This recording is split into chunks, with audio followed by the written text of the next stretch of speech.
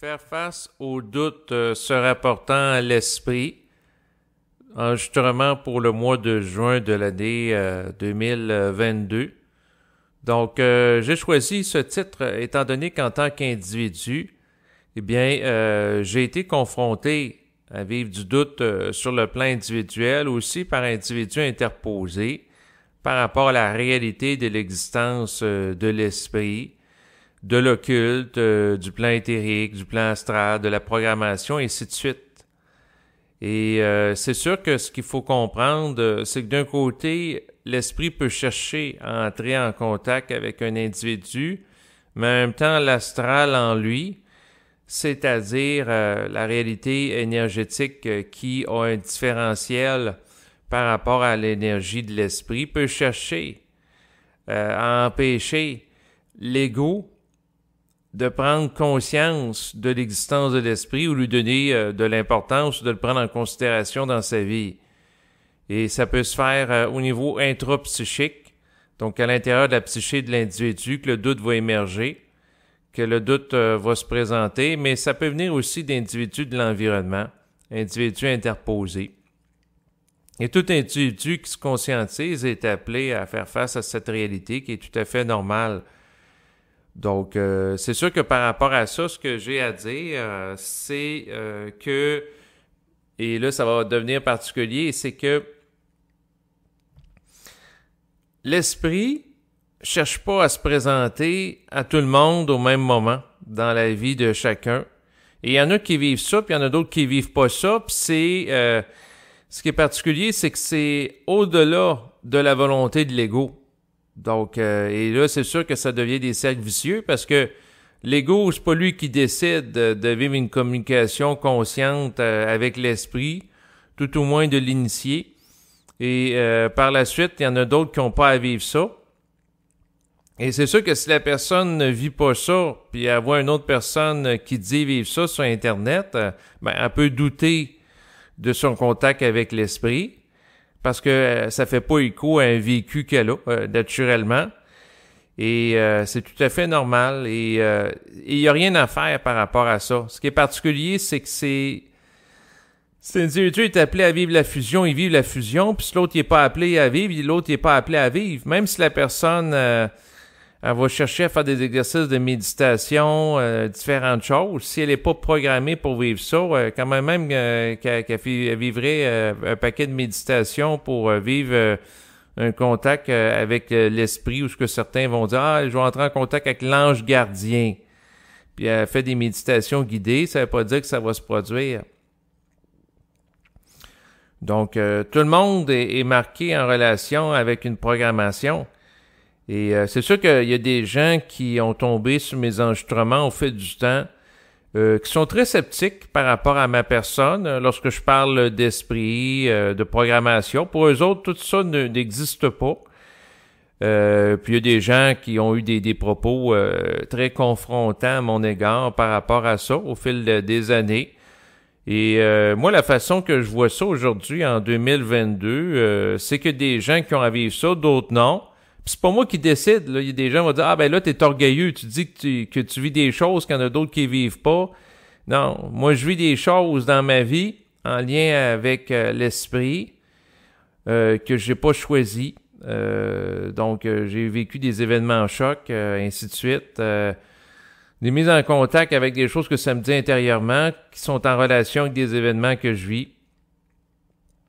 Mais le point que je veux faire par rapport à ça, euh, c'est que de, convaincre les gens de l'environnement, ça sert à rien. C'est une dépense inutile d'énergie. La personne a à considérer son vécu. Euh, puis par rapport aux gens qui écoutaient mes enregistrements, bien entendu, comme je l'ai fait dans plusieurs enregistrements au fil des ans, ce que je répète euh, inlassablement, un peu à la manière d'un perroquet, croyez pas ce que je dis, vérifiez par vous-même si c'est réel. Donc, euh, si vous entrez en résonance avec le propos, ben, ça fait écho à une réalité que vous portez déjà en vous. Si vous n'entrez pas en résonance, c'est correct aussi. Donc, euh, c'est sûr que moi, j'expose à travers euh, mes enregistrements certains contenus et je laisse les gens disposer en fonction de leur sensibilité ou autre. Donc, je voulais mentionner ça parce que tout ça, c'est très individuel. Et ce que je réalise avec le temps, au début, je m'étais dit, ben, à un moment donné, les, les scientifiques contemporains vont être capables d'amener des preuves scientifiques hors de tout doute qui vont faire consensus au sein de la population de l'existence de l'esprit. Il y aura une alliance entre la science conventionnelle et la, science occulte. Mais à mesure que les années passent, je vois que ça se fait pas. Et euh, il n'y a pas vraiment cette reconnaissance-là, mais il faut pas s'empêcher de vivre parce qu'une réalité n'est pas reconnue.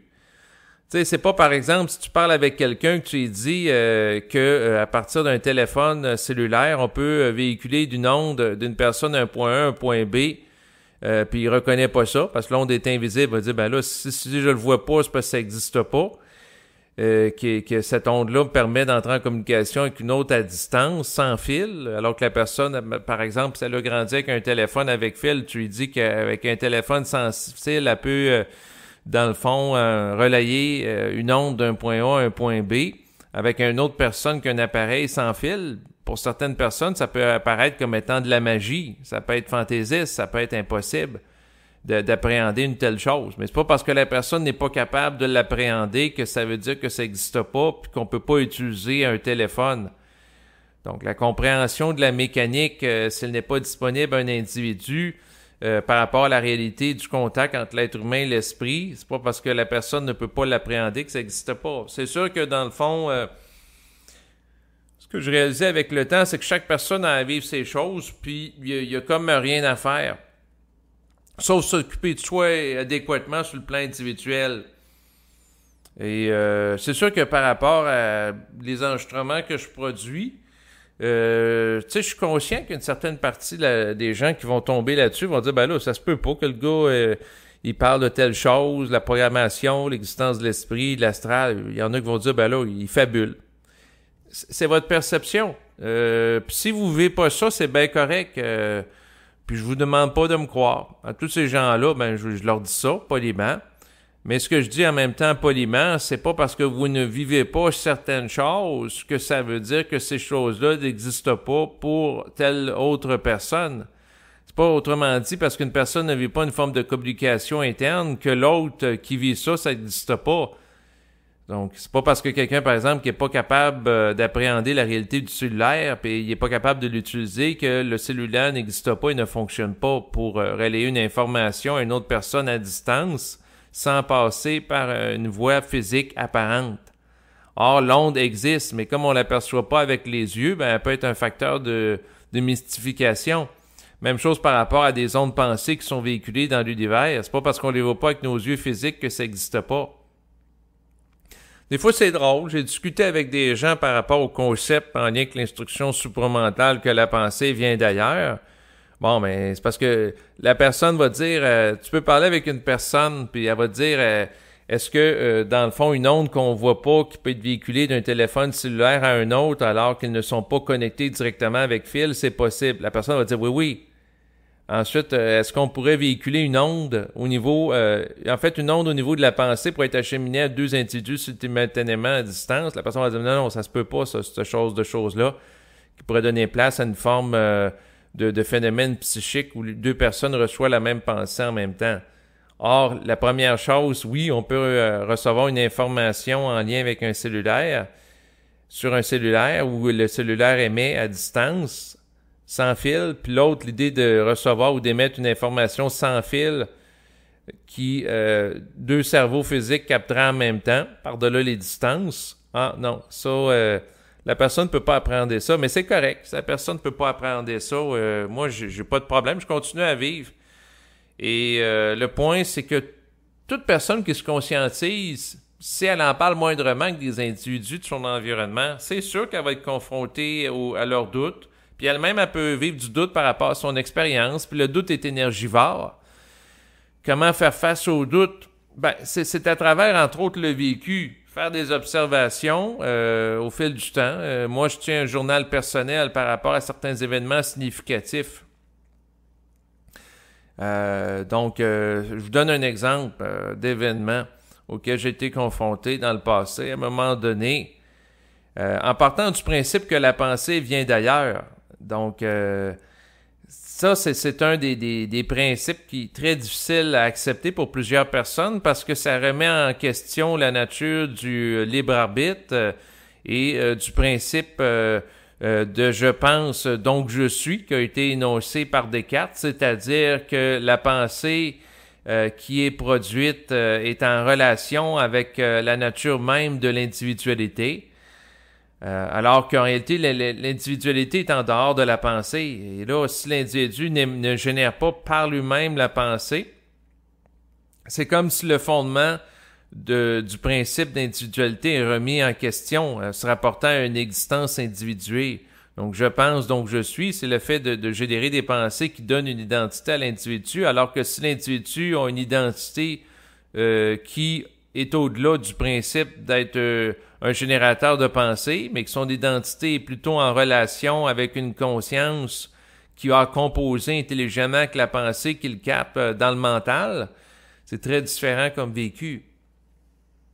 Donc, mais non, une des expériences que j'ai vécues en lien avec le principe euh, que euh, la pensée est au-delà du plan physique.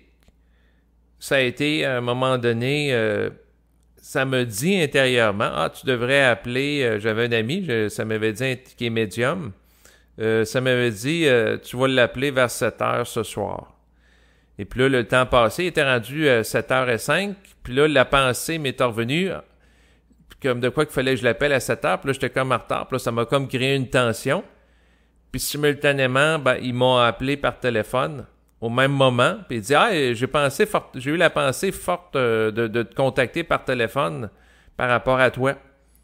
Ah, j'ai pas dit que j'avais l'intention de l'appeler en soirée. Puis l'intention, quand que je le je le je l'étudie, ben ça me dit intérieurement appelle-la à telle heure pour parler de tel sujet.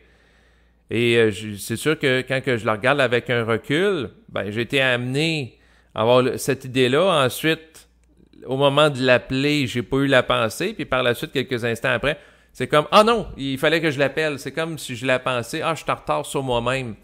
Puis après ça, ben, au même moment, il me téléphone parce que ça me crée un choc énergétique. Il capte à distance, puis il m'appelle par téléphone au même moment, alors que c'était pas prévu qu'il m'appelle à ce moment-là en particulier. Puis ça, ça a été une expérience, l'une des plus significatives que j'ai vécues. J'en ai vécu d'autres aussi en lien avec euh, de la pensée ou de la programmation. Et c'est sûr que au fil des ans, j'ai été confronté à vivre du doute. Pourquoi? Ben, il y a des forces astrales qui n'ont aucun intérêt qu'on reconnaisse l'existence de l'esprit, qui vont nous amener à douter. Euh, dans certains cas, euh, c'est sûr que de douter de l'esprit, ça pas une utilité. C'est-à-dire, tant aussi longtemps qu'on vit des croyances en relation avec l'esprit, les croyances doivent être épurées par rapport à du doute. Tandis que lorsqu'on vit du savoir qui se tient sur le plan vibratoire, à ce moment-là, on n'a plus besoin de douter. Et là, le doute devient une façon de décentrer l'individu. Mais tout ça est subtil. C'est-à-dire que tant que l'individu vit une forme de naïveté à l'égard de l'esprit, ben à ce moment-là, c'est intelligent qu'il soit confronté à des gens qui doutent de lui, pour l'amener à réaliser euh, le fait qu'il y a une compréhension distorsionnée de l'esprit et qui connaissent un état d'épuration psychique. Dans le sens que si quelqu'un, par exemple, a pour croyance qu'il suffit de faire des visualisations créatrices, bénédictions ou prières pour obtenir tout ce qu'il veut, euh, donc, euh, puis la personne, ça fonctionne pas, puis est confronté par un autre individu de l'environnement, il dit ouais, tu as voulu euh, utiliser une affirmation de pouvoir pour devenir multimillionnaire, puis t'es pas devenu ça. C'est sûr que l'ego qui est confronté par rapport à ça, ça ne fera pas plaisir. Par contre, s'il fait preuve d'honnêteté psychique, il va être obligé de reconnaître, ben oui, j'ai demandé quelques jours euh, d'avoir une grande quantité d'argent, je l'ai pas obtenu. Bon, ben s'il est transparent, il va être obligé de reconnaître ça, mais c'est pas parce qu'il obtient pas ça de la part de l'esprit que l'esprit n'existe pas. D'ailleurs, à mesure que l'individu se conscientise, vous réalisez que l'esprit est en relation avec un agenda évolutif par rapport à lui et que euh, ça peut dire intérieurement, ça peut dire intérieurement que la personne n'a pas à être multimillionnaire euh, rapidement parce que sans ça, ça l'empêcherait de vivre sa programmation par rapport à l'esprit qui participerait en tant que euh, l'âme trame narrative de l'amener à évoluer en tant qu'ego. Puis le but de l'esprit, c'est pas que la personne devienne facilement multimillionnaire, puis qu'elle soit paresseuse, puis elle reste chez elle à, écouter des films ou à faire des voyages de luxe ou à collectionner des autos euh, qui ont une très grande valeur. Mais le but de l'esprit, c'est que l'individu évolue. Et là, l'individu peut se faire euh, confronter par quelqu'un de l'environnement en disant, ben oui, mais si tu demandes des choses à l'esprit puis ça s'exécute pas, c'est parce que ça doit pas exister, ça doit être un fantasme de ton imagination. Mais ça veut pas dire que pour autant que c'est un, fantasme ou un délire euh, d'une imagination débordante d'un individu, le concept de l'esprit. Et euh, c'est sûr que le, problème, ben le problème, façon de parler, c'est que l'esprit, de la compréhension que j'en ai au fil du temps, c'est que l'esprit, c'est, ça programme, ça agit, puis c'est capricieux. Puis ça vit en fonction de son temps et non pas du plaisir de l'ego. C'est sûr que s'il suffisait de, demander des choses ou même d'ordonner certaines choses à l'esprit pour les obtenir, c'est sûr que euh, tout le monde qui le voudrait serait en parfaite santé, serait multimillionnaire et euh, aurait euh, soit un compagne ou une compagnon qui serait très agréable. Il y aurait des vies faciles finalement. Mais le but de l'esprit, c'est que l'individu évolue. Et c'est sûr que par rapport à ça, ben ça, crée du doute, naturellement. Donc les gens vont dire, ben là, euh, si l'esprit me donne pas ce que je veux, à quoi ça, ça, ça, me sert de m'intéresser à l'esprit? Ben, ça, ça peut être de composer intelligemment avec la réalité vibratoire qui se rapporte à soi pour être en plus grande adéquation en fonction de qu'est-ce qu'on a à vivre, puis de le comprendre, puis de, vivre une forme de paix de l'esprit. Donc, euh, c'est ça. Mais ce que j'ai à dire par rapport à ça, euh, c'est que à un moment donné, euh, c'est ça, je rêvais en tant qu'individu qu'il y ait une alliance entre la, science officielle puis la science de l'esprit, qu'il y ait une espèce de fusion entre les deux, puis de connaître ça de mon vivant. Ça, c'était un désir de ma personne, mais au fil du temps, ben, je réalise que ça s'actualise pas. Je pense à quelques années, parce que j'avais interviewé euh, Marc euh, Delassalle, auteur et conférencier québécois dans le domaine euh, de, la de, conscience. en fait, il visait à, diffuser la conscience supramentale à travers ses enregistrements, ses livres. Puis à un moment donné, ben, il me dit je pourrais aller parler à des universitaires, leur présenter mes livres. Et là, ça me disait intérieurement non. puis là, ben, il n'a pas été de l'avant avec ça finalement de son vivant. En tout cas, ma connaissance, n'a jamais fait de démarche avec euh, des euh, gens dans le domaine euh, de la science aux, universités. À mon avis, le temps n'est pas là pour ça. Puis, de chercher une reconnaissance extérieure par rapport à des autorités, ça confirme aussi que quelque part, la personne vit du doute. Moi-même, j'en ai vécu longtemps. Je cherchais des collaborations, collaborations de, proches ou de vidéos de scientifiques euh, par rapport à mon vécu à l'égard de l'esprit. Et avec le temps, ben, tout est tout le temps sujet à interprétation. Fait que j'ai jamais eu de preuve hors de tout doute. Euh, puis aussi, les scientifiques ont une méthode empirique, c'est-à-dire la reproductivité de certains phénomènes. Donc, euh, s'il n'y a pas une reproductivité absolue, ils reconnaissent pas son existence. Donc, c'est sûr que si, par exemple, on fait bouillir de l'eau, puis lorsque le, thermomètre monte à 100 degrés Celsius, euh, eh bien, l'eau est en ébullition. Ben là, puis c'est un phénomène qui est reproductible, comme euh, de voir de l'eau qui gèle à 0 degrés Celsius à cause qu'il fait froid. Ben là, les gens vont dire, ben, il y a une constance derrière ça, donc on peut dire que c'est une loi scientifique euh, que l'eau va geler, par exemple, à 0 degrés Celsius. Or, il suffit pas de, fermer les yeux puis euh, de visualiser certains endroits à distance ou euh, quelqu'un qui a un jeu de cartes de Zener avec des formes géométriques à distance pour être capable 100% euh, du temps d'identifier les formes qui sont présentées. Pourquoi? Ben parce que ça, c'est en relation avec les lois de l'esprit. Puis l'esprit peut, à un moment donné, laisser place à quelqu'un qui vit une expérience de voyance qui est concluante. donc, à distance, la personne reconnaît certaines formes géométriques pour que la personne s'intéresse à l'esprit, pour le manipuler, pour euh, l'amener à réaliser qu'il y a une réalité derrière ça. Mais ça fera pas la personne euh, capable euh, de deviner, lorsqu'elle le désire, les numéros gagnants à la loterie, des percevoir à distance. Donc, à ce moment-là, il n'y a pas d'opérationnalité linéaire qui peut se faire par rapport à ça. Puis là, s'il n'y a pas d'opérationnalité, ben, c'est sûr que l'intérêt du public n'est pas là euh, par rapport à la masse, naturellement, euh, parce qu'il suffit pas de, de, vouloir visualiser quelque chose à distance pour que ça fonctionne 100% du temps. Mais c'est pas parce que ça fonctionne pas 100% du temps qu'il n'existe pas un esprit qui est au-delà de la forme sur le plan physique qui peut donner accès à certaines informations. Et c'est là que ça devient subtil.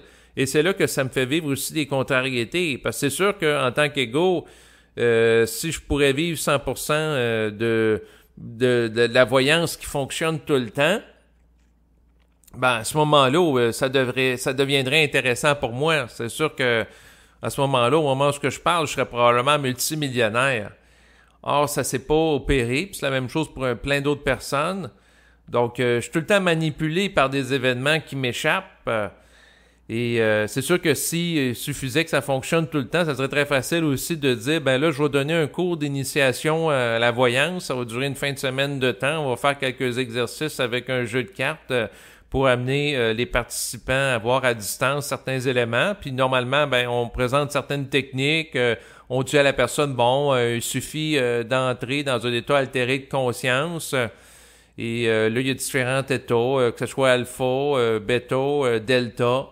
Et là, il y a un état qui se rapproche du sommeil euh, que les gens, par exemple, vont connaître lorsqu'ils vont faire du yoga nidra.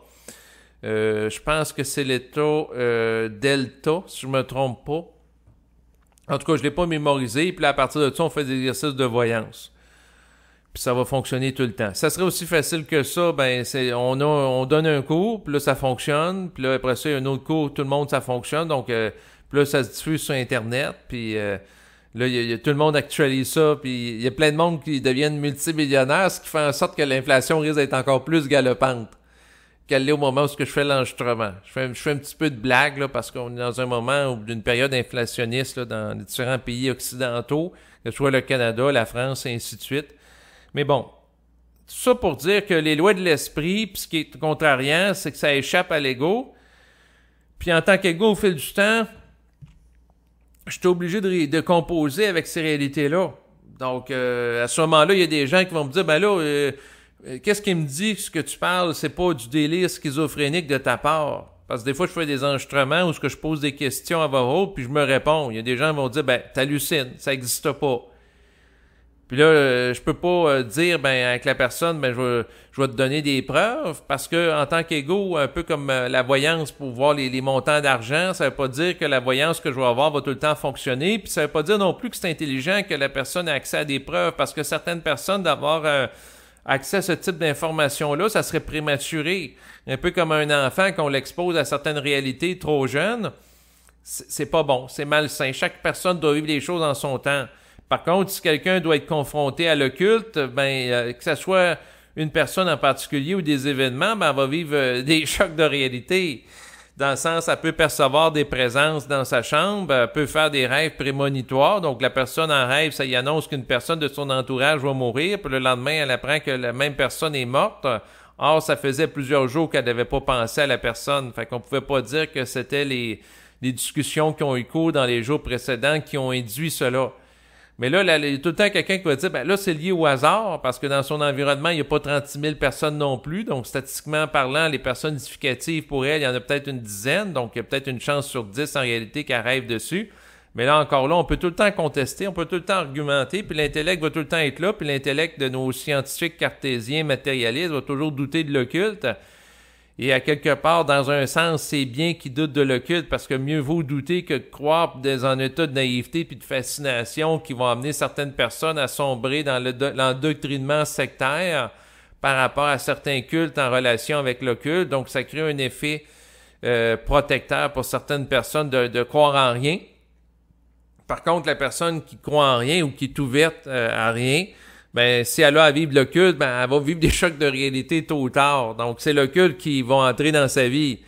Donc euh, c'est sûr que si la personne euh, est, très fermée, puis finalement elle, se ramasse à vivre un événement choc dans le sens que euh, elle vivre un contact avec des, des êtres du cosmos ou elle se ramasse avec des marques particulières sur le corps ou un phénomène de temps manquant, ou surtout si elle a des, trucs physiques, ben là, elle va être obligée à un moment donné de reconnaître que s'il y a des traces physiques au sol ou etc., ben c'est pas juste le fruit de son imagination.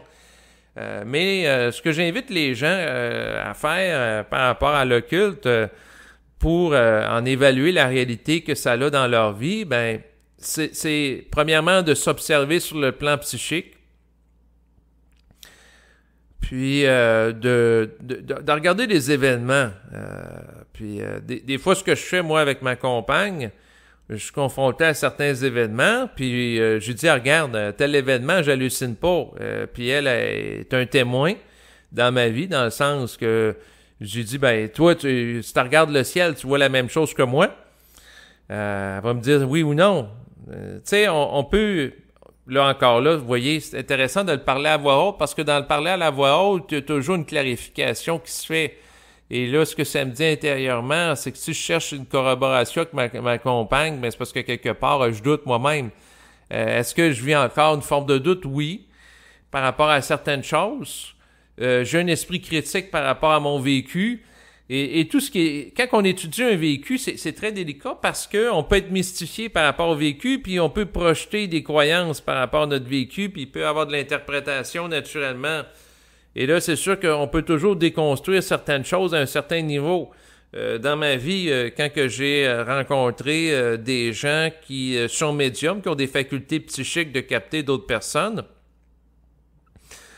m'ont présenté des informations. Donc, euh, il y a certaines informations. À un moment donné, j'avais présenté la photo de ma compagne euh, à un individu qui est capable de faire preuve de perception à distance. Euh, puis bon, il parle de ma compagne, certains traits psychologiques en regardant la photo. C'est sûr que si tu regardes la photo d'une personne, si la personne est plutôt extravertie ou introvertie, tu peux en avoir une certaine mesure. Tu regardes la forme du visage, etc. Mais là, la, personne m'avait dit, ben regarde, euh, ta compagne, elle aimerait voyager en Afrique. Or, elle avait pas des vêtements en lien avec l'Afrique sur la photo. Il euh, y avait rien qui indiquait ça, là. Tu sais, elle avait pas un chandail I love Africa, là, euh, sur elle. Non, il y avait rien qui pouvait indiquer ça. Alors que c'était vrai. Au moment où la photo avait été prise par rapport à ma compagne, elle avait de l'intérêt pour aller voyager en Afrique euh, en fait, elle avait une amie euh, de l'Afrique. Puis euh, c'était sûr une curiosité de voir où ce qu'elle vit, naturellement. Finalement, elle n'a pas à l'heure actuelle voyagé en Afrique, ça remonte a plusieurs années. Mais la précision de la voyance, alors que on s'entend, voyager en Afrique, ça s'indique pas dans le front.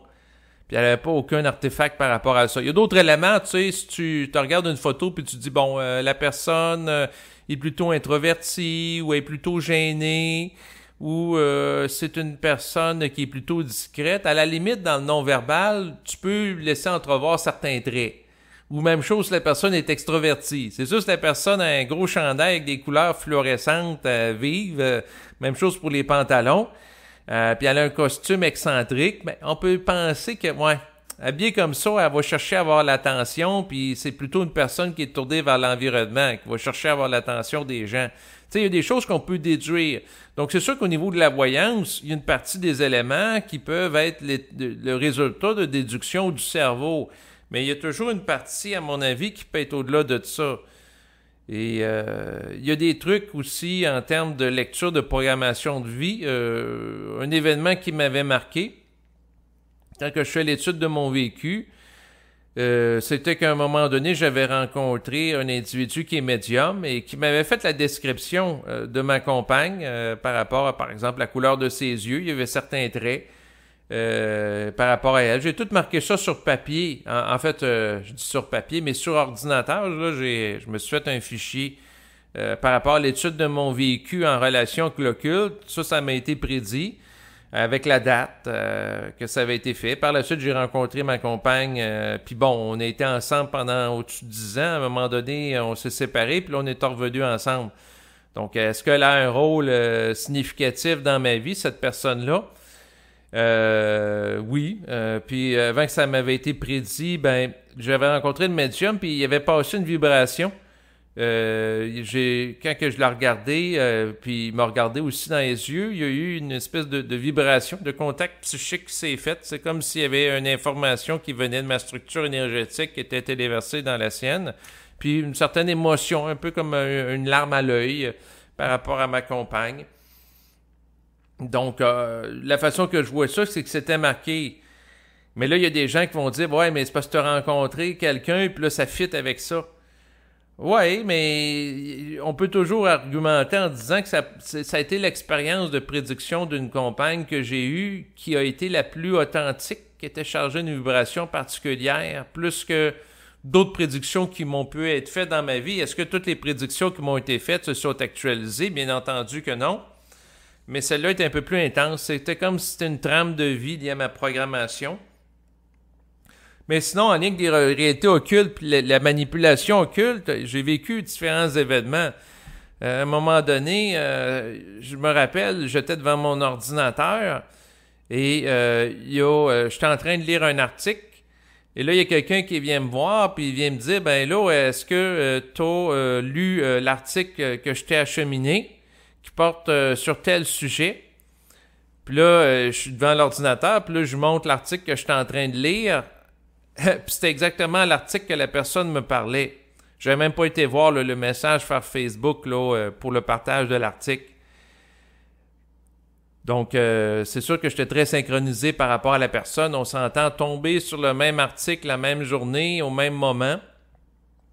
C'est très peu probable statistiquement là, que ça soit lié au, entre guillemets, ce qu'on va appeler au hasard.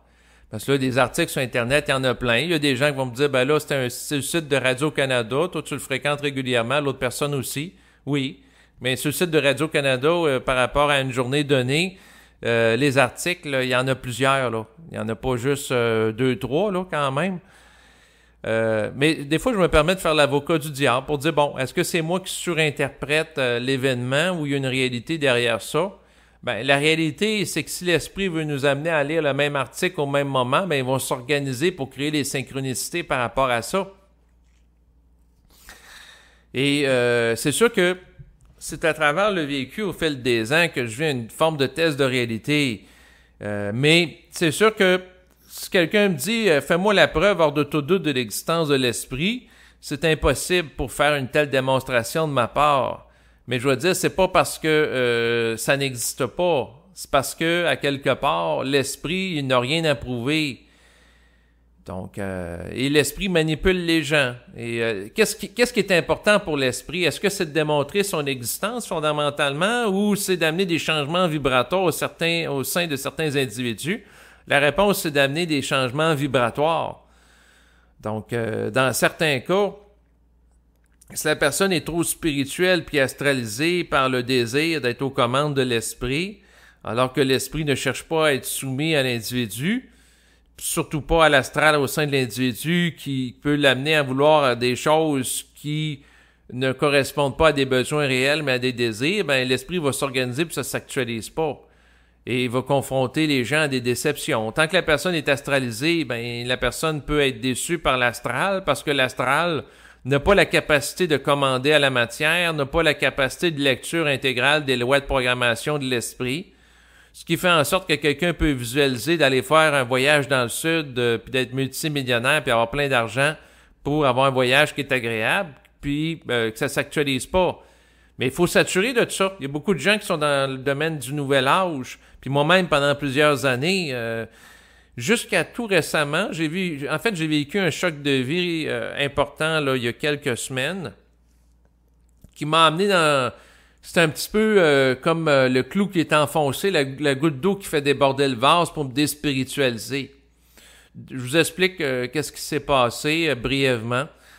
c'est que j'avais été rencontrer un ami qui, qui, qui est médium, qui a des facultés psychiques puis on avait à regarder ensemble euh, vibratoirement pour installer une plus grande vibration d'harmonie entre moi et une autre personne. Mais il y avait un désir de l'ego. Et ça s'est pas actualisé, puis la personne euh, que je visais est en plus grande harmonie. Ben, la personne m'a confronté sur plusieurs éléments. Ça m'a créé des chocs énergétiques très forts.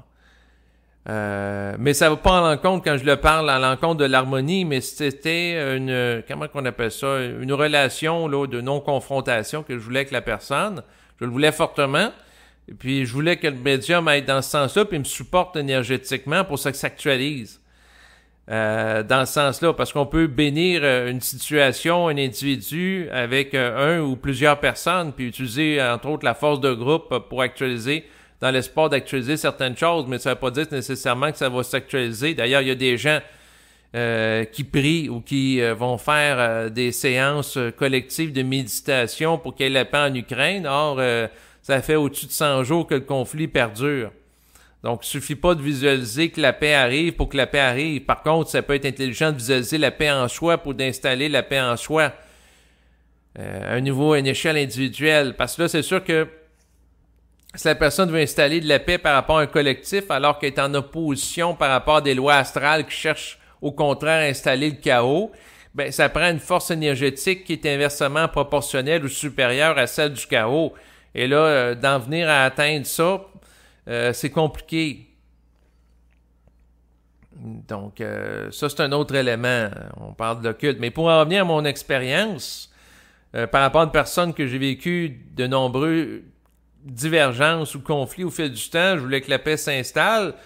Euh, je pouvais le visualiser intérieurement avec des méditations. Et là, je voulais demander à la personne qu'elle me supporte là-dedans, qu'elle visualise aussi. Dans l'optique de générer ça. Puis finalement, ça s'est pas passé dans les jours qui suivent. Puis il y a eu une grande tension qui a été euh, vécue de ma part avec euh, l'autre personne que je visais avoir une relation plus pacifiée. Et là, par la suite, ça m'a fait réaliser les limites de ça. Puis qu'à quelque part, il y a des lois d'énergie qui échappent à mon ego puis aussi de réaliser que qu'il y ait de l'attention, avec le recul, je suis obligé d'admettre que c'est intelligent que l'autre me confronte parce que dans mon ego, il y a certains éléments que je manque d'ajustement. Puis c'est sûr, ça me fait pas plaisir de les regarder. Euh, puis euh, comme beaucoup d'êtres humains, on a de l'orgueil à un certain niveau. Puis là, l'autre personne, elle me fait réaliser des, des failles que je pouvais avoir, que je voyais pas. Par contre, le point, c'est que par rapport à l'autre personne, je n'étais pas à l'aise dans la manière. Euh, qu'elle me présente les choses. Ça me faisait pas plaisir.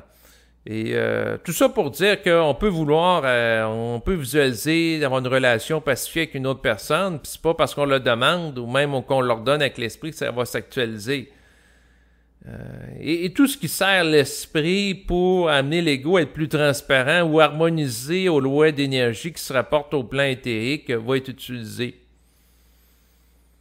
Et donc, à ce niveau-là, il y a un travail vibratoire qui s'opère par rapport à tous les individus qui sont marqués pour vivre une connexion avec l'esprit, puis tout le monde va être manipulé en ce sens-là. Et même si un ego réussirait, par exemple, euh, à gagner à la loterie, alors que c'est pas le temps pour lui, au niveau évolutif, de connaître euh, un montant d'argent qui arrive rapidement dans ses poches, ben qu'est-ce qui va arriver? Ben l'esprit peut créer un concours de circonstances particuliers qui va faire que la personne va tout perdre l'argent rapidement. Dans le sens que quelqu'un gagne un gros montant d'argent, mais dans les jours qui suivent, euh, la personne n'était pas adéquatement assurée euh, par rapport à sa maison, puis finalement il y a un dégât d'eau important dans la maison qui fait en sorte qu'une bonne partie de la maison c'est une, une, perte euh, totale parce que le bois qui compose la maison est pourri. Donc, comme la personne n'est pas adéquatement assurée, puis elle perd un montant, tu sais, c'est comme la personne, elle gagne 100 000, mais elle perd 100 000 dans les jours qui suivent parce qu'il y a un dégât d'eau euh, significatif dans sa maison. C'est comme un peu un match nul. Tu sais, quelqu'un qui euh, va euh, jouer au tennis, il marque un point, puis à un moment donné, l'adversaire marque un point. Fait que ça, ça, ça, ça s'annule. Donc,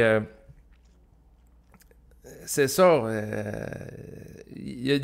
C'est-à-dire que si la personne n'a pas à composer avec une grande quantité d'argent, ben ils vont créer des lois ou des situations, des événements. En fait, je plus des situations, c'est pas des lois, qui vont faire qu'elle va perdre rapidement la même quantité d'argent. Ou la maison passe au feu et pas assurée. Donc, euh, tout ça pour dire qu'on est manipulé continuellement. Euh, puis moi-même, euh, je m'exclus pas de ça. Puis sans doute beaucoup de personnes qui m'écoutent à ce stade-ci, parce que ça, ça fait plusieurs minutes que je parle, qui ont vécu certaines choses en relation avec l'esprit, des choses occultes, mais qui peuvent pas vraiment expliquer à des gens de leur environnement immédiat parce qu'ils vivent pas des choses similaires, donc ça fait pas écho à une réalité.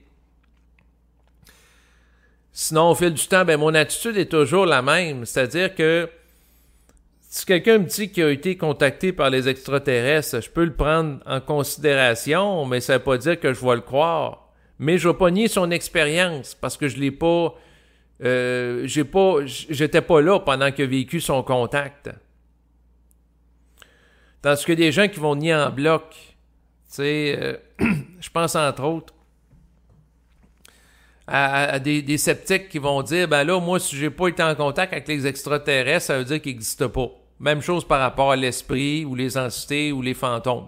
Il y a des gens qui sont sceptiques qui, qui partent de cette prémisse-là, puis bon, ça leur appartient. Par contre, de nier l'expérience d'un autre être humain pour autant, pour moi, je trouve que c'est un manque de respect par rapport à l'être humain. Quelqu'un peut me dire qu'il fait de la lévitation. Euh, je vais dire, OK, tu m'affirmes ça, point. Je vais pas dire que j'y crois ou que j'y doute. Euh, à la personne, euh, dans le sens, à moins que la personne, j'ai à la confronter là-dessus, là. Dans le sens que si la personne est devant moi et elle dit qu'elle est en train de léviter puis elle a les deux pieds par terre, ben je vais dire ben regarde, tes pieds sont au sol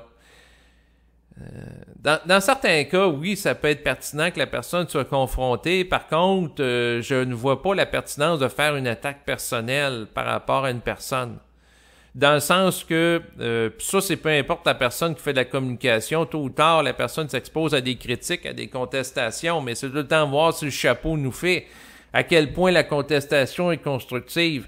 Tu sais, si quelqu'un m'écrit un message euh, sur YouTube ou sur Facebook, bon, tes enregistrements, c'est de la merde. OK, euh, je vois que les enregistrements me plaisent pas, je vais bloquer la personne, ça apporte rien de constructif. Ou la personne peut dire, ben l'esprit ça n'existe pas, tu délires tu es probablement un schizophrène en état de psychose au moment où tu parles. Ben, je peux te dire, c'est ta perception. Est-ce que euh, mon état de conscience, comme quelqu'un qui vit une psychose, peut être altéré au moment où je prononce des propos dans l'optique de canaliser? La réponse, c'est oui. Par contre, ce que je peux dire par rapport à ça, euh, parce que dans, le fond, je pense entre autres euh, aux travaux de Corinne Sombrun, euh, entre autres par rapport à l'utilisation d'électroencéphalogramme, où il était question que les ondes du cerveau qui sont activées chez le chaman, donc quelqu'un qui vit un état d'altéré sur le plan psychique, qui peut par exemple être en contact avec des esprits, est similaire à celui de quelqu'un qui vit un état de schizophrénie, qui entre en psychose. Est-ce que c'est une réalité qui est possible, que c'est les mêmes zones du cerveau qui sont activées? La réponse c'est oui. Par contre, euh, est-ce qu'il y a une différence entre les deux? Oui, parce que la personne qui vit un état de psychose puis elle perd contact avec la réalité, puis n'est pas capable de sortir par elle-même de cet état-là, c'est très différent du chaman euh, qui va utiliser sa volonté pour mettre fin à l'état de transe, à l'état altéré sur le plan psychique, lorsqu'il veut. Tandis que l'autre, le, schizophrène qui vit un état euh, de psychose, euh, ben, il peut pas nécessairement sortir quand il veut. Et c'est la raison pour laquelle il y en a certains qui vont être alternés, en, voyons, qui vont être internés en institut psychiatrique pour contenir la personne. Et euh, c'est sûr que la science présentement se pose la question comment ça que le chaman peut vivre un état similaire à celui d'un schizophrène euh, lorsqu'il est en transe, mais ou en état altéré psychique, mais pouvoir en sortir à volonté. Et c'est là que le questionnement de la science vient. Et la réponse qui me vient, ben, c'est la volonté. C'est-à-dire que la personne est ouverte à vivre un contact avec des réalités occultes. Donc, en tant que canal, est disponible à la perception. Par contre, euh, elle a une puissance de volonté en tant qu'ego pour être capable de fermer le canal, de mettre fin à la communication psychique, à la réception d'informations lorsqu'elle veut. Euh, alors que l'autre, il peut pas faire ça. Parce qu'il y en a qui peuvent mettre fin au contact quand ils veulent, puis d'autres quand ils peuvent, ou qui vivent un état de possession, euh, qui subissent malgré eux. Puis là, à ce moment-là, ben, dans certains cas, il faut qu'ils prennent de la médication, comme des, tranquillisants, pour euh, les amener à calmer, puis de, de, sortir de l'état progressivement de psychose, puis de se détendre. Surtout si la personne vit une grande agitation. Donc, c'est très différent par rapport au vécu. Euh, c'est sûr que le concept que la pensée vient d'ailleurs, ça va être sans doute euh, l'une des notions les plus difficiles à intégrer pour plein de personnes. Moi-même, ça fait des années que j'y résiste. Pourquoi? Ben, parce que ça remet en question le fondement du libre arbitre, euh, ça, remet en question le, fondement Euh, c'est quand même pas rien là, par rapport à l'existence humaine de remettre en question l'idée que la pensée vient pas de soi, mais les observations que je fais au, fil du temps vont dans ce sens-là.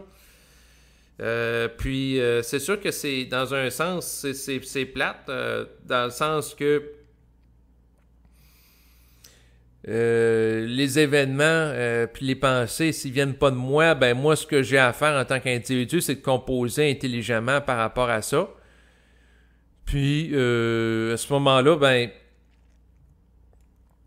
tu sais, je peux pas dire, par exemple, en fonction de mon désir, bon, ben, demain, je vais avoir la pensée qui va me permettre de mettre en place une, une invention euh, qui euh, va faire en sorte euh, que je vais avoir, par exemple, une maison qui va fonctionner à l'énergie libre ou une auto avec l'énergie libre. Je vais être capable de mettre ça en place. Non. La pensée de vouloir mettre ça en place peut me venir en tête, mais ça ne peut pas dire que je vais avoir la capacité de... ou la capacité d'avoir accès au, numéro de la loterie quand que je veux, ou les, les façons de faire de l'argent quand que je veux ça serait aussi facile que ça, ben il y a plein de monde qui, qui vivent une forme de médialité, qui aura accès à l'information. Mais le plus contrariant, le plus frustrant par rapport à tout ça, c'est que des fois j'ai accès à des informations que je ne veux pas sur des personnes que je ne cherche pas à avoir. Et lorsque je cherche à les avoir, des fois je les ai pas. Ce qui fait que ça fonctionne pas toujours. Et là, ça peut être, euh, s'il y a des gens qui ont certaines facultés médiumiques, ça peut être très frustrant sais, tu rencontres quelqu'un, ça te dit intérieurement, ah, telle personne, elle n'a pas d'enfants ou elle a des enfants. Mais elle n'en parle pas explicitement, puis elle n'a pas la, photo des, enfants sur un t-shirt ou elle ne présente pas ça de son porte-monnaie. Il n'y a rien d'extérieur qui indique ça. Donc, euh, des fois, on a de l'information. Ah, telle personne a, deux ou a plusieurs enfants ou elle n'en a pas. Ou euh, telle personne elle doit avoir tel signe astrologique. À un moment donné, je rencontrais un, gars, il, y avait un côté artistique, s'intéressait à des questions éthiques. Dit, ça me dit intérieurement, ah, il est du signe de la balance. Après ça, je vais vérifier que sa date de naissance. Ben oui. Des fois, ça me dit des choses, puis c'est pile, ça, correspond sans que je l'aie cherché. Puis des fois, je veux avoir une information. Bon, euh, par exemple, euh, je avoir une information sur... Euh, je sais pas, là, par rapport à l'avenir ou des trucs de curiosité ou euh, est-ce que la bourse va monter? là, ça peut, je peux vouloir avoir l'information, puis ça me donnera pas nécessairement. Surtout s'ils si, veulent pas euh, que, que, que, je comprenne comment fonctionne la bourse puis que je devienne millionnaire avec ça. Euh, ben, ça me fait penser à, quelqu'un qui disait qu'il jouait à la bourse avec la, vibration, puis finalement, ben, la personne n'est pas venue millionnaire. Donc, elle faisait des achats puis des ventes sur le marché boursier. J'en ai connu en réalité plusieurs. Je pense à une autre personne aussi qui avait certaines facultés psychiques. Mais il y en a une qui avait l'intelligence de reconnaître euh, que tout est marqué, puis si la personne n'a pas à vivre millionnaire, quand même, même euh, qu'elle ferait de l'argent, que la bourse vont s'organiser les forces pour qu'elle perde de l'argent. Donc, tout ça pour dire que les gens sont manipulés à différents niveaux. Et là, ça devient intéressant de regarder ça, puis en même temps, ben, quand on réalise qu'une programmation qui existe, pour des raisons d'évolution, et que la programmation astrale aussi va toujours avec le temps être neutralisée par l'esprit, euh, à différents niveaux. Euh, c'est sûr que des fois, le temps y est plus long. Je regardais euh, récemment un article par rapport à la situation de la femme en Afghanistan, donc en ce mois de juin 2022.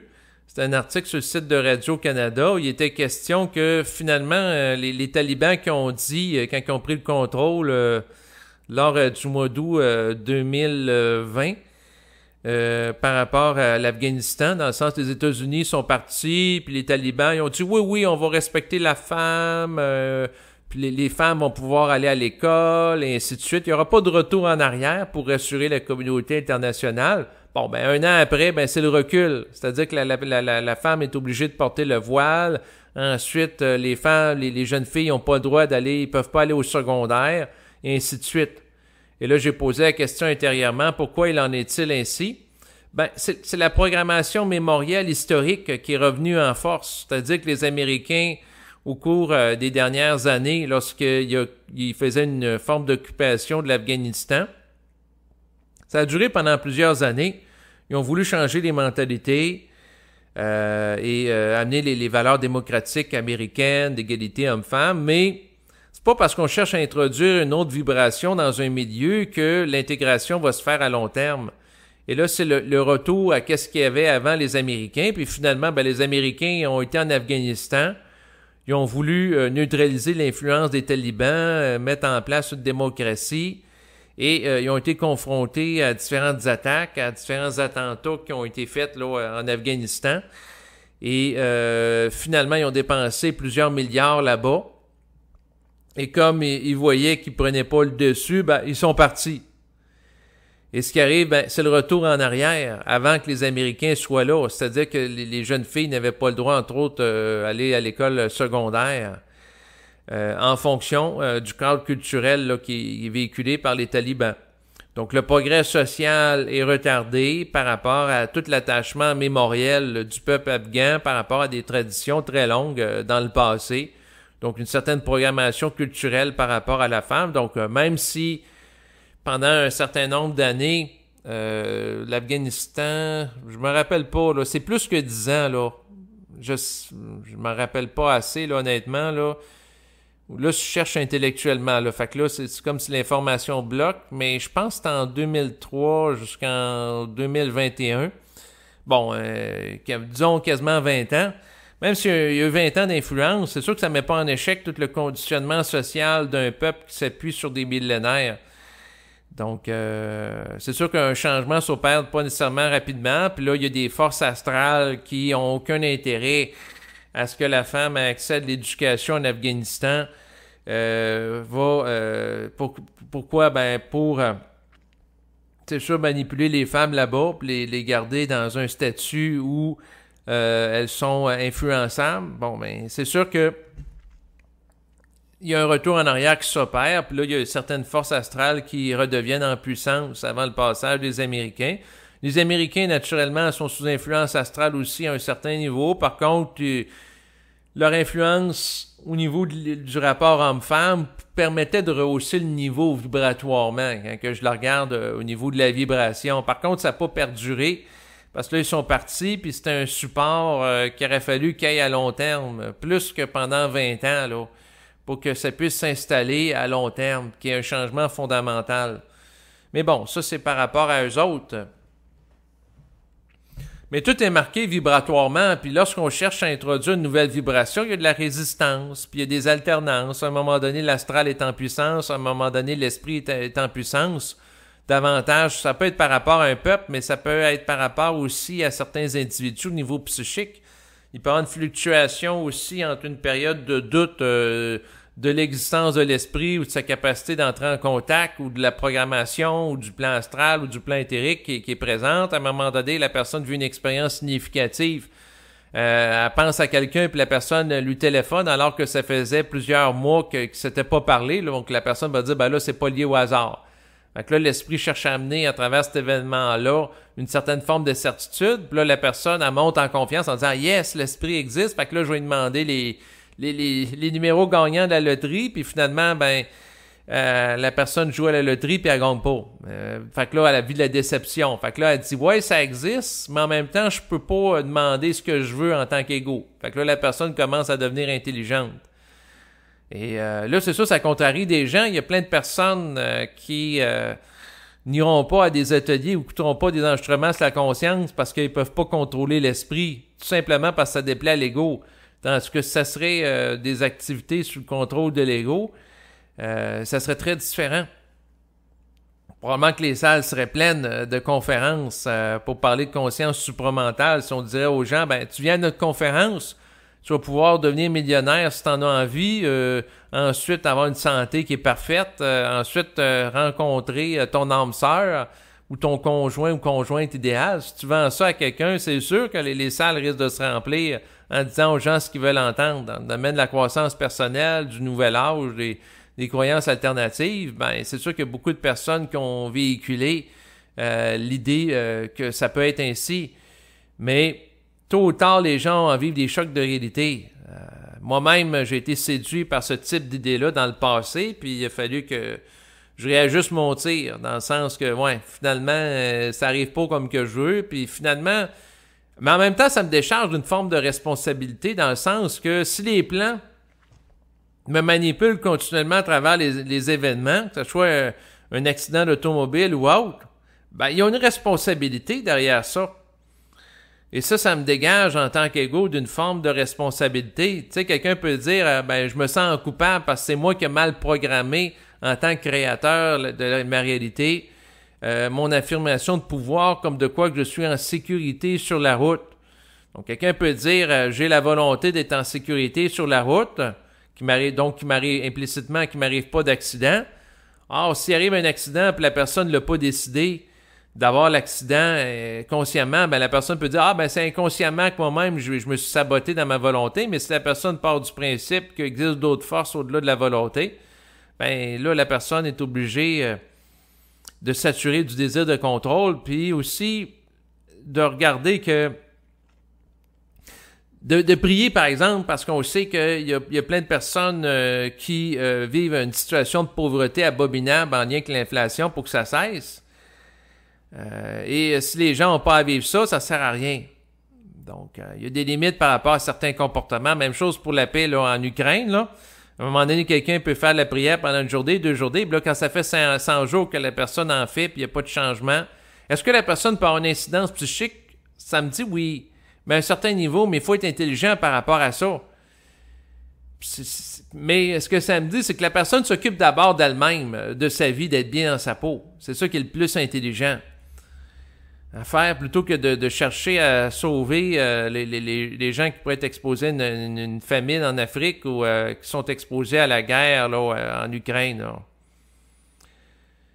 À moins que la personne soit mandatée par rapport à ça au niveau de l'esprit.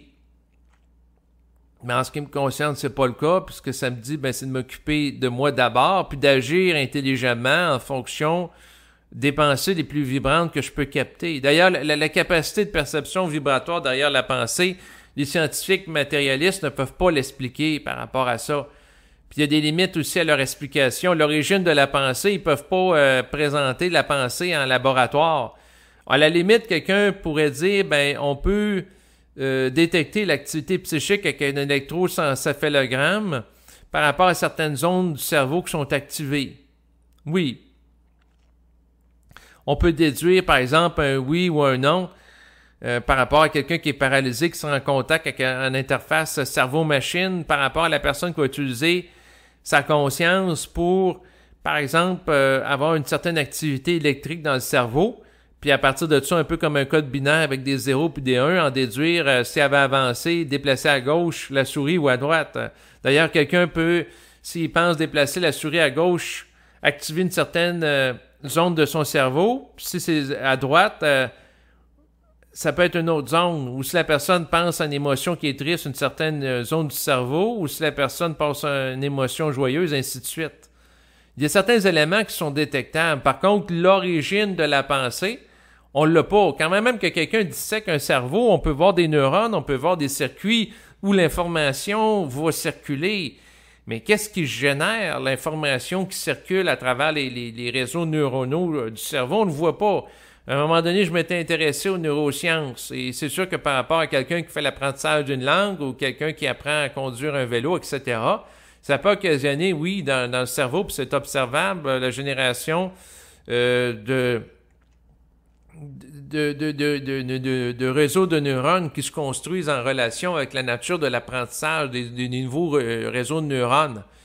Oui, ça peut être observable. Euh, l'impact de la pensée sur le cerveau peut être très observable dans le sens que si la personne euh, vit des pensées très dépressives, euh, donc il y a une certaine activité, quelqu'un qui médite au contraire pour vivre la paix de l'esprit, euh, puis la personne vit un état de calme au niveau psychique ou quelqu'un qui, euh, est un mystique euh, comme les religieuses, des carminides, il y a des communautés de religieuses, puis avec les, les, études qu'a faites Mario Beauregard sur le cerveau mystique, où ce que certaines zones peuvent être activées, oui, ça peut être observable.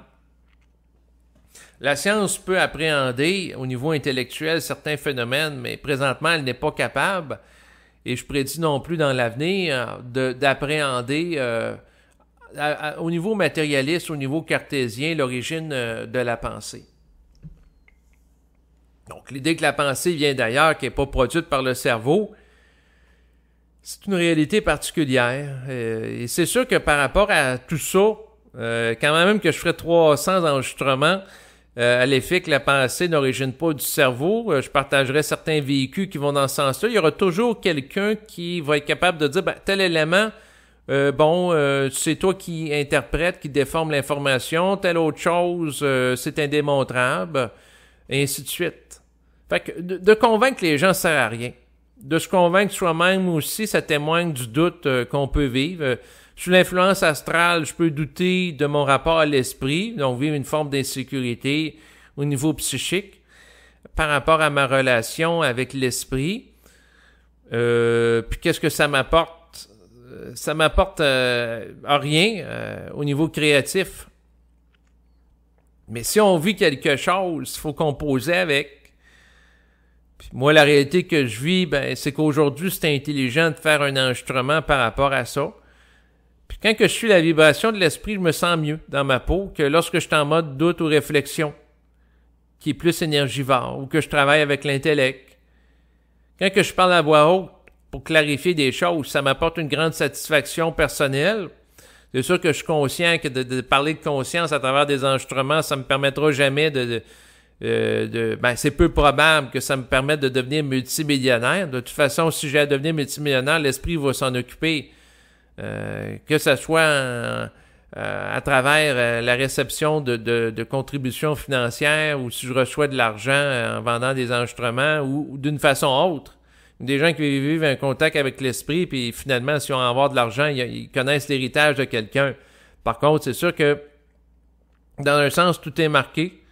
Mais pour pas retarder le processus évolutif, la personne a suivi la vibration. Si la personne a la vibration de donner de l'argent, ben, elle peut donner de l'argent. Ça fait partie d'un synchronisme de l'esprit. Mais elle a la vibration de ne pas en donner, ben, qu'elle n'en donne pas. Ou elle a la vibration de ne pas écouter d'enregistrement, qu'elle n'en écoute pas, et ainsi de suite. Mais tu sais, il y a des réalités énergétiques dans le sens qu'on peut avoir des, des préconitions, des pressentiments. À un moment donné, ça me dit intérieurement, telle personne, tu y parles pas parce que tu vas perdre ton énergie. J'écoute pas, je parle pareil, je suis curieux. Finalement, ben, je perds mon énergie. À un moment donné, une deuxième fois, ça me fait la même chose. Une troisième fois. Puis là, des fois, je peux paraître bête. Il y a une personne sur Facebook euh, qui voulait entrer en communication avec moi. Euh, il y a plusieurs jours, j'ai dit à la personne, j'ai pas la vibration pour entrer en contact avec toi. Puis là, la personne a dit, ben c'est ça. Tu fais des enregistrements, tu t'écoutes parler, puis tu n'as pas vraiment une volonté de contact avec le public. La personne peut, peut me dire ça. Et c'est pas parce que j'ai pas la, vibration d'entrer en contact avec une personne que je veux pas être en contact avec tout le monde, là. Il y a des nuances à faire. Puis moi, je suis obligé de suivre des lois d'énergie qui sont intransigeantes. Et si la personne ne comprend pas que je suis ces, lois-là parce qu'elle ne vit pas ça, ben, c'est sûr que la personne va dire, ben là, toi, t'es es orgueilleux, euh, tu me snobs. Ainsi de suite. Elle, va interpréter ce que je dis d'une certaine façon. Euh, c'est normal. Moi-même, si j'étais à sa place, j'interpréterais aussi. Fait vivre le contact euh, en relation avec ce qu'on va appeler sa voix intérieure ou l'esprit, c'est très, c'est très difficile parce que il y a plein de monde qui vivent pas ça. Fait que là, la personne te comprend pas. Si la personne te comprend pas, ben elle va tout interpréter ou réfléchir ce que tu dis, puis elle, va dire que c'est toi qui la comprends pas. Mais est-ce que je comprends, comprends pleinement l'autre? Euh, la réponse, c'est non. Euh, dans, plusieurs cas, j'ai pas une transparence absolue de l'ego qui me permet de m'appréhender d'une manière totalement transparente ou transparente l'autre. Fait qu'il y a toujours une part d'incompréhension. Euh, par rapport à Marc de la Salle, que j'ai quand même interviewé là, pendant sur une période de 9 ans, est-ce que j'ai réussi à le comprendre de mon vivant, même si j'ai fait une grande quantité d'enregistrements que vous pouvez d'ailleurs retrouver avec lui sur YouTube? Puis il a consacré une grande partie de sa vie à diffuser de la conscience? Est-ce que je le comprenais vraiment euh, de son vivant? La réponse c'est non. Est-ce qu'aujourd'hui je le comprends plus? La réponse c'est oui. Mais est-ce que je le comprends totalement? La réponse c'est non. Pourquoi? Ben, parce que tant aussi longtemps que je réfléchis ou que je peux vivre du doute euh, ou que mon ego est pas totalement transparent, il y a des choses qui me sont voilées. Il y a des choses que je ne vois pas, il y a des choses que je ne perçois pas à la fois chez moi et chez autrui. C'est ainsi. Est-ce que Marc a souffert de l'incompréhension que je pouvais avoir par rapport à sa personne? À un certain niveau, oui. Par contre, euh, est-ce que ça faisait partie quelque part de, son expérience d'être exposé à ça? Ben, je suis obligé de répondre que oui. Euh, donc, il avait à collaborer avec moi euh, pour faire des enregistrements. Donc, c'est sûr que quand on collabore avec une personne, ça se peut que la personne ne soit pas totalement ajustée à soi ou elle soit totalement parfaite. Et ainsi de suite. C'est tout à fait normal. Mais en même temps, il faut pas s'empêcher de vivre. Sais, c'est comme moi avec ma relation avec ma compagne. Est-ce que ma compagne est parfaite? La réponse c'est non. Mais est-ce que moi je suis parfait? La réponse c'est non non plus. On a à s'ajuster à l'autre personne. Par contre, on, peut avoir à s'ajuster à un certain niveau. On peut faire des compromis, mais en autant que ce soit pas compromettant. Dans le sens que si euh, l'essentiel du temps qu'on passe avec une personne, ça représente plus de la perte d'énergie, euh, qui, euh, dans le fond, dilapide nos énergies vitales, à un moment donné, ben, il faut que ça cesse parce que c'est trop énergivore. On se fait euh, littéralement vampiriser par l'astral. Donc, par contre, est-ce que de, se faire vampiriser un peu par l'astral avec quelqu'un, si ça amène la vibration plus loin en termes d'ajustement de l'ego et de descente d'énergie, c'est intelligent dans le sens que de, de, collaborer avec une personne, si on est mis en vibration, avec elle, même si c'est pas totalement ajusté, si ça nous amène plus loin dans la compréhension du réel, est-ce que c'est intelligent? La réponse c'est oui. Mais c'est à la personne de savoir. Euh, donc, euh, c'est sûr que dans le passé, j'ai été manipulé euh, dans l'affaire de faire plaisir à autrui. Tu sais, quelqu'un me demande de parler pour lui faire plaisir, même si ça me dit non intérieurement, je vois de l'avant pareil. Puis là, finalement, ben, c'est une perte d'énergie. Fait que là, Là, après ça, je me dis, bon, là, je vais être moins naïf, je vais être plus à l'écoute euh, de la vibration que j'ai. Puis là, ensuite, c'est encore la même affaire. Puis là, après ça, euh, je dis non. Puis bon, admettons, la personne accepte, OK, euh, t'as pas la vibration de me parler, euh, la personne passe à autre chose, mais je peux être testé aussi dans le sens que la personne me dire, ben là, si tu veux pas me parler, c'est comme t'es pas fin, t'es pas gentil. Puis là, on essaie de me faire sentir coupable ou pas correct. Alors qu'en réalité, ce qu'il faut que je vois derrière ça, c'est un jeu de manipulation. C'est-à-dire, on cherche à me décentrer d'une position liée à l'esprit. Pourquoi que l'astral pourrait chercher à faire ça? Ben, c'est de me détourner psychiquement de mon propre esprit pour m'orienter vers la vibration plus spirituelle d'une autre personne. Si la personne est bien intentionnée spirituellement, puis elle vise à communiquer avec moi en disant, ben là, c'est important que tu travailles pour le collectif. C'est important euh, que euh, tu présentes des solutions pour la sauve, pour sauver l'humanité, et ainsi de suite, parce que la personne inconsciemment et euh, dans une situation de jouer au sauveur, puis elle veut t'amener dans sur ce terrain-là. Donc, euh, puis elle veut bien faire sincèrement, mais pas consciente qu'il est manipulé pour jouer au sauveur. Au niveau de l'esprit, ça c'est très dur, c'est que l'esprit cherche pas à sauver l'humanité, il cherche à ce que les gens évoluent, ce qui est très différent. Donc le sauveur spirituel, ce qu'il cherche, c'est que tout le monde soit confortable, tout le monde ait de l'argent, tout le monde ait à manger quand il veut, tandis que l'esprit, c'est trouve que c'est plus intelligent qu'il y a une situation d'inflation, puis plein de monde perd de l'argent pour qu'il y ait l'essentiel ou qu'il s'intériorise davantage. Même chose pour des, des, des, confinements. Si l'esprit trouve intéressant qu'il y ait un autre confinement à l'automne, ben, il va créer un concours de circonstances pour que ça se produise. C'est sûr que le confinement aussi peut être généré par l'astral, parce que l'astral puis le plan éthérique vont manipuler les gens à travers des événements pour différentes raisons. L'astral cherche à manipuler les gens pour les contrôler. Donc, si on, cherche à, amener les gens à être contrôlés en respectant des mesures de confinement très strictes, c'est quelque chose. Par contre, si l'esprit trouve ça intéressant que la personne soit en confinement parce que ça l'amène à s'intérioriser davantage parce qu'elle peut pas sortir chez elle ou elle doit éviter tout contact avec les gens, ben, elle est obligée davantage de se regarder le nombril, comme on dit. Aller voir plus clair à l'intérieur d'elle-même. Donc, euh, tout peut être utilisé par l'astral ou l'esprit, puis une même chose comme l'argent peut être utilisé par euh, l'une ou l'autre de ses forces. Mais c'est à l'individu d'avoir l'intelligence de savoir c'est quand que c'est intelligent, par exemple, d'utiliser l'argent pour acheter des produits, puis quand que ça ne l'est pas. C'est quand que c'est intelligent d'épargner, puis c'est quand que c'est intelligent de dépenser, ainsi de suite. C'est comme ouvrir puis fermer le contact. Même chose par rapport aux gens de l'environnement ça peut être intelligent que je sois en contact avec une personne, euh, même euh, si elle m'écrit un message avec plein de fautes. Donc, euh, si je sens que la vibration est là, puis ça me dit d'entrer, de, lui parler, bon, mais j'ai à suivre le courant. Si je le fais pas, ben, à quelque part, mon comportement est retardataire, tandis que l'autre, elle s'écrit très bien, des très beaux messages, très mielleux, puis euh, elle dit ah que vous êtes, euh, tu sais, c'est quasiment vous dire ah vous êtes pauvre, vous êtes fin, euh, c'est intéressant ce que vous dites, dans une perspective quasiment de séduction, de, de, de plaire, en disant ah et que t'es intelligent, gna, gna, gna.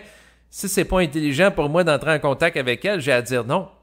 C'est ainsi de suite, mais de tenir à ça pour éviter des pertes d'énergie. Pourquoi? Ben, parce que si on perd nos énergies, on ne peut pas les utiliser créativement à autre chose. Et le temps de l'existence sur Terre est limité. Et l'esprit cherche à actualiser une programmation, puis l'astral tout faire pour retarder la programmation pour maintenir dans un état de puissance la psyché de l'individu. Fait qu'une fois complété l'enregistrement d'aujourd'hui, qu'est-ce qui va arriver? C'est sûr que dans les prochains jours, il va sans doute des gens qui vont dire, ben là, euh, euh, ce que tu dis, ça tient pas la route. J'ai eu plein de messages au fil du temps. Il y a des gens qui vont me dire Ah, euh, tes enregistrements, euh, c'est pas aussi intelligent que ce que fait Bernard de Montréal. Ou t'es pas aussi bon que Bernard de Montréal. Ou je vais avoir des critiques, j'en ai eu plein, puis il y a des gens qui vont me comparer à Bernard, puis ils vont dire ah, c'est pas aussi vibratoire. T'es pas aussi conscient que lui. OK? Mais, mais ça me fait rire parce qu'il y a une personne qui m'a contesté en disant euh, ton contact avec l'esprit n'est pas réel, tu fabules, ainsi de suite, tu es mystifié. La, personne, à un moment donné, je l'ai barré. Là, elle utilise après ça un autre pseudonyme, elle me confronte, puis elle fait des attaques personnelles aussi. Tu sais, la personne peut dire tel propos n'est pas ajusté. OK, au niveau de la forme, au niveau du contenu. Mais là, si la personne a dit euh, elle m'attaque personnellement ou autre, en tout cas, il y a une personne, elle m'a beaucoup euh, confronté, elle me dit ce que tu dis, c'est pas réel. Puis elle m'amenait pas nécessairement de points, ou elle m'amène des points, mais elle cherche à quelque part à me discréditer. Ensuite, elle, réapparaît sous l'autre forme d'un autre pseudonyme. Là, ça, je me rends compte qu'en réalité, c'est la même personne qui me conteste. Puis, elle écoute toujours mes enregistrements. Donc, puis ça, je fais une lecture par rapport à elle. C'est parce qu'à quelque part, elle trouve ça intéressant. Mais la personne, elle me dit, moi, la seule personne qui parle de conscience supramentale que je reconnais comme étant légitime, c'est Bernard de Montréal. Toutes les autres, c'est juste du copier-coller. Euh, c'est juste euh, des, des, gens un peu comme des sosies d'Elvis qui font de l'imitation. Or, euh, moi, la, perspective que j'ai par rapport à ça, c'est que oui, Bernard de Montréal a initié le mouvement, entre autres au Québec, par rapport à des lois vibratoires, mais les lois vibratoires existent en dehors de, Bernard de Montréal. C'est juste que lui, il y avait une précision au niveau du verbe pour les intercepter, une très grande sensibilité pour les capter, et ainsi de suite. Euh, c'est sûr qu'il y avait un taux vibratoire très élevé, mais c'est pas parce que lui a vécu ça que les autres qui parlent des mêmes concepts, c'est juste du copier-coller. Le principe que la, pensée n'origine pas de l'individu, c'est pas parce que lui amène ça sur la place publique, euh, ben, place publique, façon de parler, là, dans le domaine euh, du milieu du nouvel âge ou de l'ésotérisme, que toutes les autres personnes qui reprennent le même concept que c'est du copier-coller. Si c'est une réalité, comme par exemple la température euh, de l'eau entre en ébullition à 100 degrés Celsius, ou la loi de la gravité de Newton, donc euh, la plus petite masse est attirée par la plus grosse masse, que ce soit Newton qui amène ça ou une autre personne, le principe demeure pareil. C'est juste que c'est peut-être lui qui, a passé à l'histoire pour avoir amené la, loi de la gravité euh, universelle ou si euh, on prend euh, le principe de la relativité d'Einstein, bon, ben, on met un nom par rapport à un principe, par rapport à quelqu'un qui l'a amené, mais c'est pas parce que d'autres personnes parlent de ça que c'est des copier-coller. Il y a des perceptions liées à ça. C'est juste la personne reçoit une pomme sur la tête, que ce soit Newton ou une autre personne, la réalité de la loi de la gravité où euh, la plus petite masse, c'est-à-dire la pomme est attirée vers le sol, la Terre étant la plus grande masse, c'est une réalité qui est là, de nature universelle. C'est la même chose par rapport aux lois vibratoires auxquelles faisait référence Bernard de Montréal. Mais là, ce qui me faisait rire par rapport à la personne qui me dit Ouais, moi je reconnais juste Bernard, ce que tu fais, c'est comme de la merde, OK? Euh, la personne, euh, bon, euh, je la bloque, ensuite elle revient. après ça, je suis encore obligé de la bloquer, puis là, probablement qu'elle m'écoute encore. Parce qu'elle m'a fait plein de commentaires, puis elle m'écoute d'une manière plus assidue que ma compagne c'est sûr, ça c'est un aspect que je trouve intéressant de ma relation de couple. Ma compagne, par rapport à ce que je fais, dit OK, tu fais des enregistrements, des fois, elle peut écouter 5 minutes, mais est détachée par rapport à moi, tandis que l'autre, euh, elle m'envoyait régulièrement des messages, puis euh, il y, a comme une grande assiduité. Tu sais, si quelque chose n'est pas réel, pourquoi que si elle m'écoute, euh, dans le fond, je poserais la question pourquoi tu passes autant d'énergie par rapport à ça? c'est parce qu'à quelque part, il y a quelque chose qui est réel pour toi là-dedans ou quelque chose qui te dérange. Parce que s'il n'y aurait aucune réalité par rapport à ça, tu, n'écouterais pas ça. C'est comme quelqu'un qui dit les extraterrestres, ça n'existe pas, et ainsi de suite. Euh, mais la personne, euh, tu sous-questionnes pourquoi tu dis que ça n'existe pas, puis là, tu vois que la personne a peur, puis en réalité, derrière ça, c'est qu'elle a déjà vécu quelque chose, mais elle veut pas se l'avouer. Fait qu'elle non, non, ça n'existe pas, c'est de la fabulation. Mais, c'est parce que tu sais, quelqu'un peut dire Ah, ce que tu fais, ça n'existe pas, ça n'a aucune réalité, c'était probablement schizophrène, tu délais, OK? Mais pourquoi que la personne m'écoute avec autant d'assiduité? C'est parce que quelque part, ça fait écho à une forme de réalité qu'elle porte en elle ou ça fait sens pour elle, à moins qu'elle ait du temps à perdre. Mais moi, ce que je pense, c'est qu'en réalité, la personne reconnaît que quelque part, dans ce que je fais dans les enregistrements, je véhicule une vibration, mais à quelque part, euh, elle reconnaît ça, mais elle, elle veut pas totalement le reconnaître. Tu sais, c'est comme, ça me faisait penser à un moment donné, euh, j'écoutais des, par rapport à Marc de la Salle, bien entendu, au fil du temps, puis j'ai fait plein d'enregistrements avec lui, j'ai eu plein de désaccords avec lui, divergences. Puis des fois, il, me contrariait parce qu'il me faisait réaliser, ah, tel propos, il y a de l'astral là-dedans. Puis là, ça me faisait pas plaisir. Puis là, euh, tu sais, des fois, je voulais pas nécessairement voir euh, ce qu'il me montrait à l'écran au fil des entrevues que j'ai faites avec lui. Puis avec les années, euh, dans le fond, j'ai réécouté des enregistrements. Puis j'ai dit, ouais, c'est vrai, à telle place, je manquais d'ajustement avec le recul d'années. Fait que, à quelque part, ça me fait pas mon affaire, mais comme sur le plan vibratoire, il n'y a pas 36 000 personnes qui véhiculent une vibration, ben, je compose avec ces enregistrements. Même chose par rapport à certains enregistrements que j'ai faits avec Bertha. Il y a certaines choses que, ah, moi, il a dit ça, mais je suis obligé de le considérer. Mais là, j'ai l'impression que la personne, que, elle a changé deux fois de pseudonyme, elle écoute ça, c'est parce qu'à quelque part, elle est obligée de reconnaître que, ouais, telle chose, c'est plus ajusté ou elle trouve ça plus stimulant d'écouter mes enregistrements que d'écouter des, des médiums qui parlent euh, du nouvel âge. Donc, c'est peut-être plus proche vibratoirement d'elle même si euh, ma personne ou la forme de l'enregistrement ne fait pas son affaire. C'est un petit peu comme les enregistrements de Bernard de Montréal ou de Marc de la Salle. Il y a plein de choses là-dedans qui n'ont pas fait mon affaire et qui font plus ou moins encore mon affaire quand je les ai réfléchis en tant qu'ego. Mais je prends ça pareil en considération parce que ça m'amène plus loin dans la compréhension du réel. Donc, euh, tout ça pour vous dire que ce qui est vibratoire fait pas nécessairement l'affaire de l'ego tant aussi longtemps que des voiles, tant aussi longtemps qu'il peut réfléchir, qu'il peut douter, puis l'astral va tout faire pour que l'ego soit déconnecté de l'esprit. Pourquoi? Ben, pour maintenir son emprise sur lui. Et c'est sûr que parler de réalité du plan astral avec des entités qui cherchent à vampiriser l'énergie des vivants, euh, quelqu'un qui est athée va dire, ben là, c'est euh, de l'ordre du mythe, euh, de la croyance, de la superstition, et ainsi de suite. C'est, ben, d'ailleurs, c'est, la raison, entre autres, laquelle que, que de l'incompréhension par rapport à toute la communauté scientifique, soit les psychologues, les psychiatres, vont dire non, non, les choses de même, ça n'existe pas. Euh, l'existence des démons, l'existence des entités maléfiques, vont dire non, ça c'est de la fabulation euh, de gens qui ont des problèmes de santé mentale. Là, ils vont tout mettre ça dans une boîte et ils vont tout te dire ah non, ça c'est euh, hallucination, il n'y a aucune réalité derrière ça. Par contre, le point, c'est que lorsque la personne œuvre dans le domaine de la santé mentale, si elle-même, elle vit une forme de communication interne, puis elle vit des phénomènes psychiques, ben, elle est obligée de reconnaître sur une base individuelle qu'il y a une certaine réalité derrière ça. D'ailleurs, par rapport à la conscience supramentale, j'ai entré en contact avec euh, des gens quand même euh, qui sont instruits, dans le sens euh, quelqu'un qui a une formation en médecine, l'autre en psychologie. donc, puis qui ont vécu une forme de contact psychique. Donc là, à ce moment-là, euh, c'est sûr les gens vont dire Ah, ben, il y en a tout le temps dans l'eau euh, des pommes pourrites. Hein? Il peut y avoir des gens qui euh, sont eux-mêmes atteints de schizophrénie, puis s'en rendent pas compte, puis qu'ils ont comme travail d'interagir avec des gens qui peuvent avoir des problèmes de santé mentale. Ben oui, c'est possible. Il y a toujours des contre-arguments.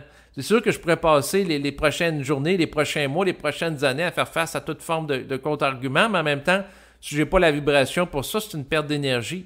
Mais fondamentalement, ce que j'ai à faire, c'est peut-être le cas de certaines personnes qui m'écoutent, c'est être capable de composer intelligemment en fonction de tout doute qui peut émerger dans ma conscience par rapport à la nature de la réalité de mon contact avec l'esprit, Euh, c'est sûr, c'est important de ne pas croire tout ce qui est dit dans des enregistrements ou tout ce qui est perçu au niveau de la pensée. L'esprit peut nous tester.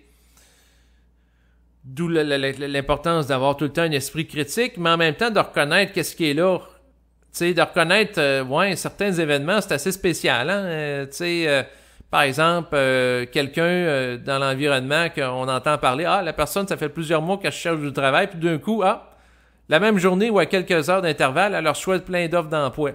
Puis c'était silence radio pendant une longue période de temps. Ça, ça nous fait réaliser ce type d'événement-là, que c'est comme c'est marqué qu'à un moment donné, la personne a obtenu un travail ou rencontré un conjoint ou ainsi de suite. Quand on réalise que la réalité est marquée, il ne reste plus qu'à composer avec la réalité en n'étant pas stressé, en vivant pas d'anxiété ou d'insécurité, et en réalisant que toute euh, la programmation cherche à concourir à l'évolution de notre ego ou d'autres égos, tout simplement, puis d'être dans la paix mentale. De toute façon, ça cherche ça, sert à rien euh, de vibrer émotivement par rapport à des choses qu'on ne peut pas changer pour des raisons de programmation. C'est une perte d'énergie. Donc, on vit ce qu'on a à vivre. Là, moi, ce que je vis présentement, c'est de parler, de faire un enregistrement c'est sûr que là, je vois que l'enregistrement, il prend plus qu'une heure, donc ça dure longtemps. Pourquoi que je fais ça? Ben, c'est une auto-ajustement que, que je fais.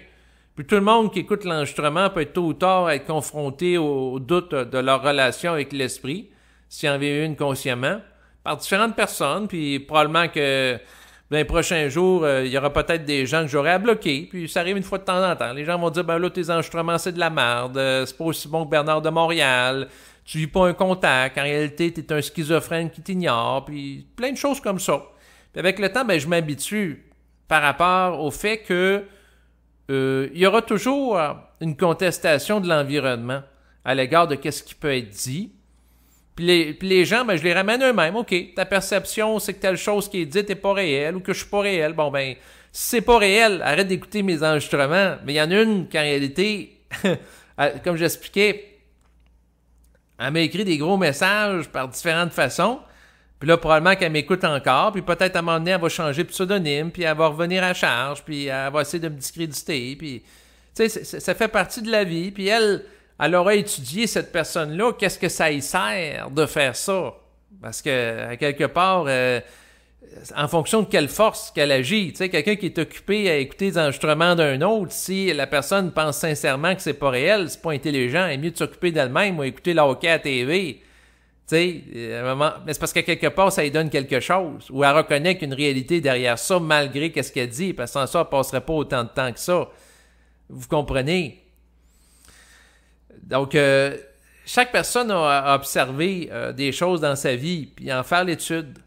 Puis moi, j'ai étudié ma propre vie, puis c'est quoi le fondamental, c'est d'être à l'aise par rapport à ma réalité, ma conscience, puis qu'est-ce que j'ai à faire dans ma vie.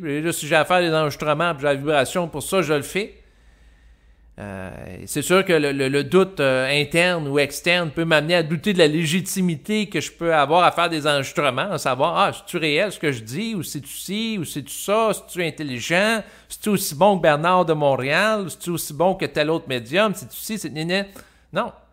On, peut être manipulé de toute façon pour nous faire taire. Et euh, c'est sûr que Bernard, à un moment donné, a amené une instruction sur Terre. Ensuite, il y a d'autres personnes qui veulent amener une instruction qui va dans le même sens. Puis là, on peut chercher à les discréditer. Pourquoi? Ben, pour éteindre la diffusion de l'instruction à l'échelle internationale, pour euh, délégitimiser les individus qui chercheraient à euh, parler dans une certaine façon qui dérange l'astral et l'astral n'a aucun intérêt à ce que euh, l'instruction supramentale soit reconnue à la surface du globe parce que lorsque ça, advenant que ça arrive, euh, c'est la perte de puissance de l'astral qui peut euh, manipuler les gens d'une manière subtile à travers le phénomène de la pensée réflexive. Donc, à ce moment-là, si eux autres perdent l'emprise sur les êtres humains, ben, ils contrôlent plus. S'ils contrôlent plus, ils sont plus à puissance. Ils peuvent plus s'alimenter des énergies des êtres humains, tels des vampires. Donc, tout ça pour dire, c'est que tant qu'il y aura de l'astral sur Terre, il y aura de l'opposition à l'individu qui osera parler vibratoirement. Puis ça, ça va être jusqu'à temps aussi longtemps que le plan astral ne sera pas totalement dilué, ce qui va arriver sur une longue période de temps. Ça va être très, très, très, très long.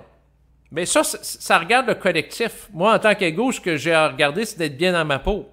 C'est sûr que euh, dans mon environnement euh, immédiat ou euh, numérique, à travers les, contacts que j'ai avec des gens par courriel ou par Facebook, il y aura toujours des gens qui, qui vivront pas ce que je vis, puis chaque expérience d'individu est unique, puis c'est ainsi. Il faut composer avec ça. Bon, là, c'est vrai, je vais arrêter de parler. Je vous remercie de votre écoute. Et euh, la, façon fondamentale de faire face aux doutes sur important l'esprit, c'est de montrer en puissance vibratoire, tout simplement. Donc en puissance de contestation du doute pour accéder au réel qui est sur le plan vibratoire. C'est tout. Bye.